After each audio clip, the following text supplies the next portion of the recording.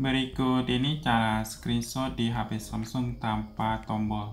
Jadi kalau HP Samsung yang masih pakai tombol navigasi seperti ini, kalau kita ingin screenshot itu bisa pakai tombol power sama tombol volume bawah. Kemudian bisa tombol power sama tombol navigasi tengah ini. Biasanya seperti itu.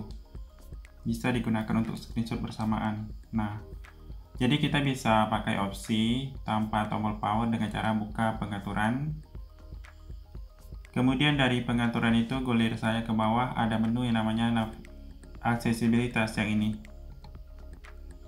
Kemudian pilih interaksi dan kecekatan. Kemudian pilih yang ini.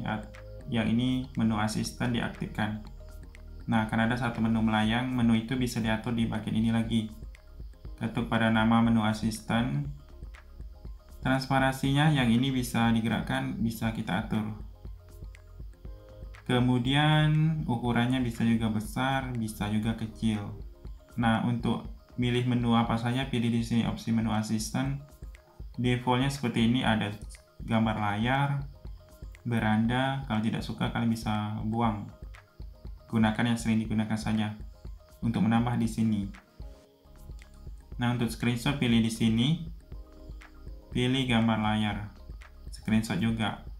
Atau kalau kalian setelah menggunakan ini ingin menyembunyikan, kalian bisa tekan lama, arahkan ke atas, lepaskan, dia akan tersembunyi. Untuk menampilkan lagi di sini ketuk, nah muncul lagi.